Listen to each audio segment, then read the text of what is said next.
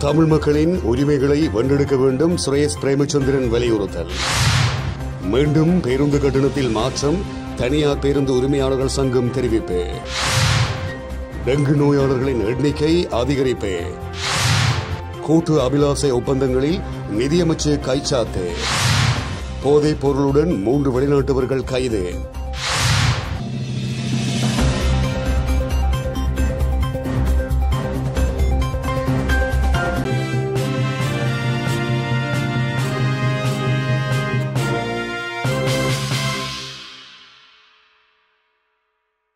நாடு பொருளாதார ரீதியில் பலவீனம் அடைந்துள்ள சூழ்நிலையில் வெளிநாடுகளின் உதவியுடன் தமிழ் மக்களின் உரிமைகளை பெற்றுக்கொள்வதற்கு நாம் அனைவரும் ஒன்றிணைவது தொடர்பில் இபிஆர்எல்எஃப் மத்திய குழுவில் கலந்துரையாடப்பட்டுள்ளதாக அக்கட்சியின் தலைவர் சுரேஷ் பிரேமச்சந்திரன் தெரிவித்துள்ளார். நேற்றைய தினம் வவுனியாவில் அமைந்துள்ள கட்சி அலுவலகத்தில் இடம்பெற்ற மத்திய குழு கூட்டம் சுரேஷ் பிரேமச்சந்திரன் தலைமையில் இடம்பெற்றதன் பின்னர் ஊடகங்களுக்கு கருத்து தெரிவிக்கும் போதே அவர் இவ்வாறு தெரிவித்துள்ளார்.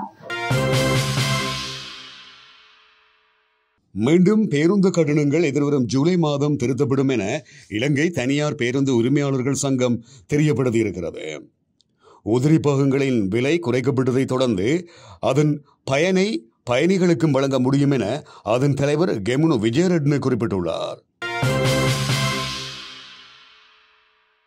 இலங்கையில் வருடத்தின் முதல் மூன்று மாதங்களில் மட்டும் பத்தொன்பதாயிரத்து எண்ணூற்று எழுபத்தேழு டெங்கு நோயாளர்கள் அடையாளம் காணப்பட்டுள்ளதாக தெரிவிக்கப்பட்டுள்ளது.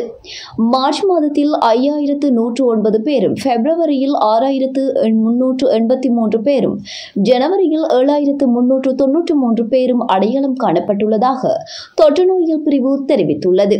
அத்துடன் கடந்த வருடத்தின் முதல் மூன்று மாதங்களில் பதிவான டெங்கு நோயாளர்கள் பதினோராயிரத்து எண்ணூற்று இருபத்தி ஏழாக பதிவாகியிருந்ததாகவும் அறிவித்துள்ளது. பொது நிறுவனங்களின் செயல்திறன் கட்டுப்பாடு பொறுப்புக்கூறல் மற்றும் வெளிப்படைத்தன்மையை வெளிப்படுத்தும் வகையில் கூட்டு அபிலாசை ஒப்பந்தங்கள் கைச்சாத்திடும் நிகழ்வு நிதியமைச்சில் இடம்பெற்றது. தேசிய லோத்தர் சபை அபிவிருத்தி லோத்தர் சபை இலங்கை போக்குவரத்து சபை கலவத்த பெருந்தோட்ட நிறுவனம் மற்றும் குருநாகல் பெருந்தோட்ட நிறுவனம் ஆகியவற்றின் அரச வர்த்தகர்களுக்கு இது தொடர்பான ஒப்பந்தங்கள் கைச்சாத்திடப்பட்டிருப்பதாகவும் தெரிவிக்கப்பட்டிருக்கிறது.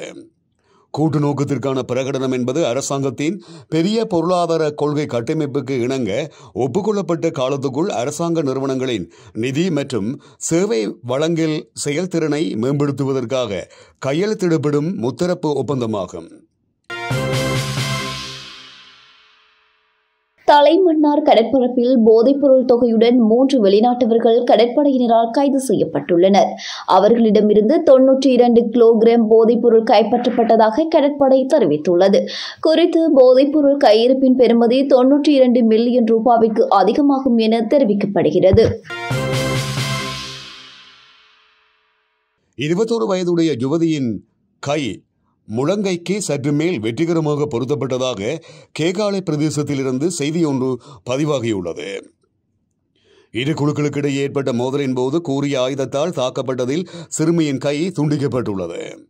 கேகால திவேல எரபுதுப்பிட்டிய பிரதேசத்தில் காணி தகராறு காரணமாக இரண்டு குடும்பங்களுக்கிடையில் ஏற்பட்ட மோதலில் நபரொருவர் கூறிய ஆயுதத்தால் தாக்கியதில் சிறுமியின் இடதுகை முழங்கைக்கு சற்று மேலே துண்டிக்கப்பட்டது. கேகாலி பிரதேசத்தைச் சேர்ந்த இருபத்தோரு வயதுடைய ஜுவதி ஒருவரே இந்த சம்பவத்தை எதிர்கொண்டுள்ளார்.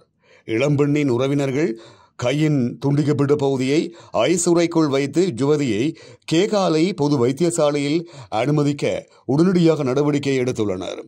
கேகாலை பொது வைத்தியசாலையின் விசேட சத்திர சிகிச்சை நிபுணர் டாக்டர் ஆனந்த ஜெயவர்த்தன உள்ளிட்ட வைத்திய குழுவினர் யுவதியின் கையை மாற்று அறுவை சிகிச்சையை ஆரம்பித்தனர். இரவு ஒன்பது மணியளவில் தொடங்கிய அறுவை சிகிச்சையை மருத்துவர்கள் மற்றும் ஊழியர்கள் சுமார் நான்கு மணி நேரத்தில் முடிக்க முடிந்தது. யுவதியை தாக்கிய நபர் தற்போது போலீஸ் காவலில் இருப்பதாகவும் சம்பவம் தொடர்பில் விசேட விசாரணைகள் ஆரம்பிக்கப்பட்டிருப்பதாகவும் கேகாலை போலீசார் குறிப்பிடுகின்றனர். நாவலர் மண்டபத்திலிருந்து யாழ் மாநகர சபை வெளியேறுவதற்கு யாழ் மேல் நீதிமன்றம் இடைக்கால தடை உத்தரவை பிறப்பித்துள்ள நிலையில் இந்து கலாச்சார திணைக்களம் ரிட் மனு தாக்கல் நடவடிக்கை எடுத்து வருகிறது. யாழ் மாநகர சபையை நாவலர் மண்டபத்திலிருந்து வெளியேறுமாறு வடமாகாண ஆளுநர் பணிப்புரை விடுத்த நிலையில் அதனை எதிர்த்து யாழ் மாநகர சபை முன்னாள் உறுப்பினர் வரதராஜா பார்த்திபனால் யாழ் மேல் நீதிமன்றத்துக்கு வழக்கு தொடுக்கப்பட்டது. வழக்கு நேற்று முன்தினம் செவ்வாய்க்கிழமை விசாரணைக்கு எடுத்துக் கொள்ளப்பட்ட போது மன்று யாழ் மாநகர சபையை நாவலர் மண்டபத்திலிருந்து வெளியேறும் ஆளுநரின் நடவடிக்கைக்கு இடைக்கால தடை உத்தரவை வழங்கியது. நாவலர் மண்டபத்தின் உரிமம் தங்களுக்கு தான் உரியது என இந்து கலாச்சார திணைக்களம் ஏற்கனவே வலியுறுத்தி வந்த நிலையில் எதிர்வரும் வாரங்களில் குறித்த நீதிமன்ற கட்டளைக்கு இந்து கலாச்சார அலுவல்கள் திணைக்களம் ரிட் செய்ய உள்ளது வட்டுக்கோட்டை போலீஸ் பிரிவுக்கு உட்பட்ட பன்னாகம் பகுதியில் முதியவர் ஒருவர் கிணற்றில் விழுந்து மரணமடைந்துள்ளார். மரணமடைந்த குறித்த முதியவர் தண்ணீர் எடுக்க முற்பட்ட வேளை தவறுதலாக கிணற்றில் விழுந்து மரணமடைந்திருப்பதாகவும் அறிய முடிகிறது. அதே பகுதியைச் சேர்ந்த முத்துக்குமார் அப்புத்துறை வயது எழுபத்தி மூன்று என்ற முதியவரே குறித்த சம்பவத்தில் மரணமடைந்துள்ளார். சம்பவம் தொடர்பிலான மேலதிக விசாரணைகளை போலீசார் மேற்கொண்டு வருகின்றனர்.